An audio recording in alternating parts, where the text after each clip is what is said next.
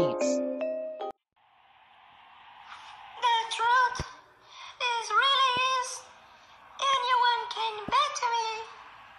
I'm still the champion. And